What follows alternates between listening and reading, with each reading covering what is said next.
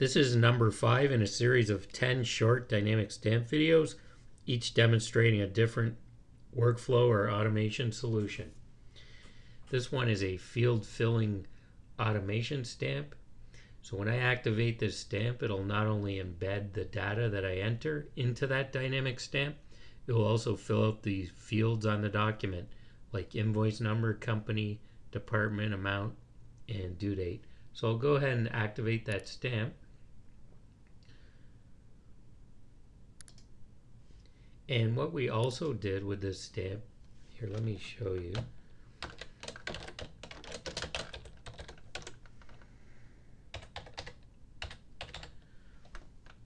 We also hooked in our our date picker or pop-up calendar, which you can get at pdfautomationstation.com. But I'll go ahead and we hooked it into this dynamic stamp. So you just have to click due date. You can actually select your due date from a calendar.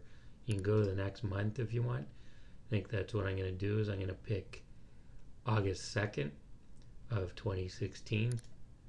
And once I click that, there's my due date from the calendar. If I made a mistake, I want to change that to September 1st. Then that will do that for me.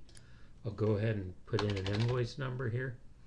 And we have a drop down for our um, department. So I'll go ahead and select one of these. When I click apply stamp, it will embed the dynamic stamp with this data here.